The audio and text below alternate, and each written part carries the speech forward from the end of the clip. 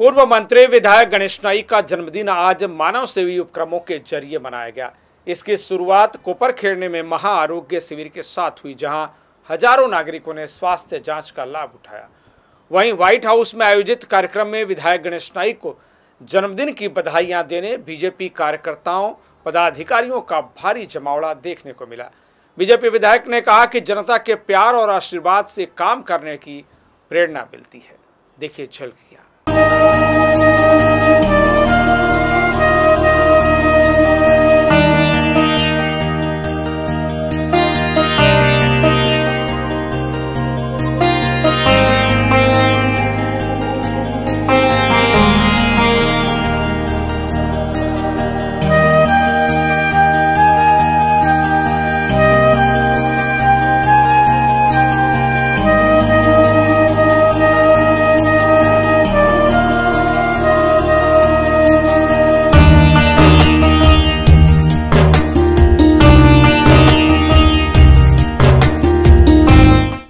मुंबई के दिग्गज नेता विधायक गणेश नाईक का जन्मदिन आज सामाजिक उपक्रमों के साथ मनाया गया।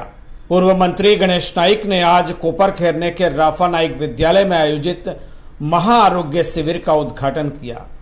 यहाँ पूर्व विधायक संदीप नाइक पूर्व सांसद संजीव नाइक समेत तमाम पदाधिकारी मौजूद रहे। बीजेपी नेता के जन्मदिन पर आयोजित इस आरोग्य शिविर में सैकड़ों नागरिकों ने लाभ उठाया।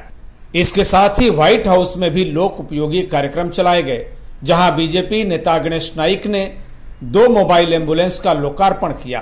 पूर्व मंत्री ने इसे नवंबईकरों को समर्पित करते हुए क्या कुछ कहा, आइए सुनाते हैं। माझ्या वाढदिवसानिमित्तानं जी सामाजिक कामं, विविध कार्यकर्त्यांनी नवी मुंबई शहर स्तरावर आहेत. ज्याच्यामध्ये आरोग्य शिबिर ठिकाणी आहेत. रक्त तपासणी आहे रक्तदान आहे.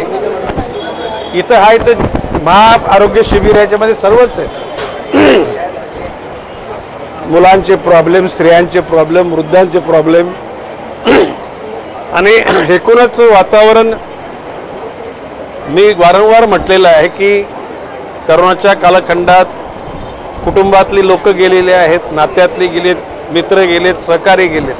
अशा पार्श्वभूमीवर वाढदिवस साजरे करणे अनुचित आहे.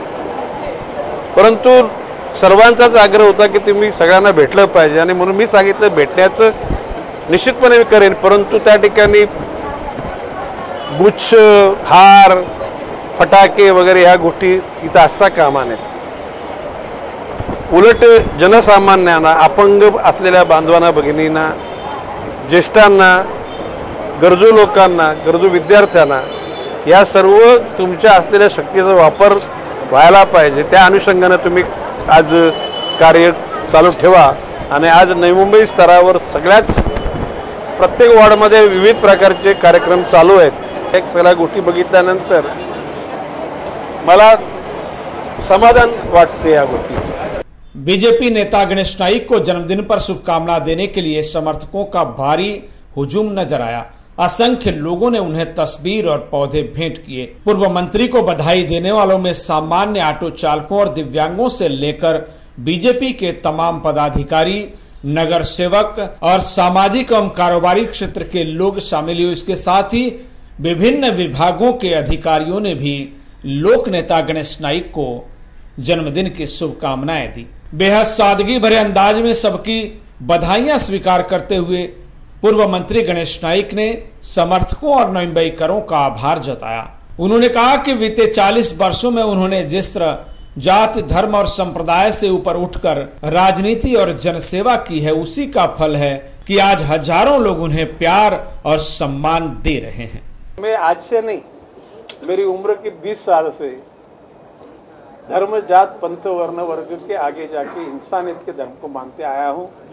जब मैं शिवसेना में था, तब भी मेरी ये विचारधारणा थी। राष्ट्रवादी में था, तब भी मेरी विचारधारणा थी और आज बीजेपी में मेरी विचारधारणा वही है। मैं यही बोलूँगा कि कर्म अच्छे करो तो आखिरी जीवन का जो पल रहेगा, वो आनंद का रहेगा।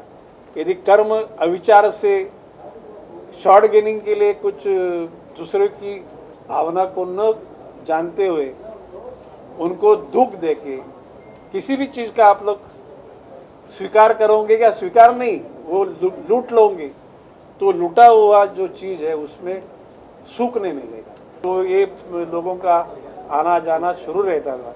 ये लोगों का प्यार है, ये कोई muscle power money power chair power से पाया हुआ नहीं और मैं एमएलए भी नहीं था तो भी लोगों का ही प्यार मिल रहा था। एमएलए हूँ, और ये प्यार कोई ताकत का असर नहीं है।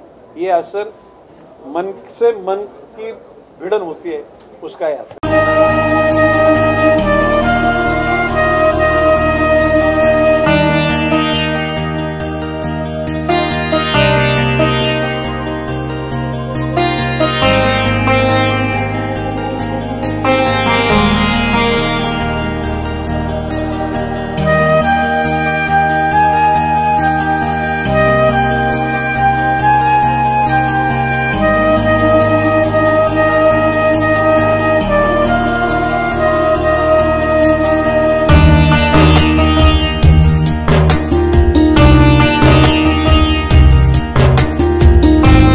लेटेस्ट अपडेट्स और ताज़ा तरीन खबरों के लिए टीवी वन इंडिया लाइव को सब्सक्राइब कीजिए और नोटिफिकेशन पाने के लिए बेल आइकॉन को दबाना मत भूलिए।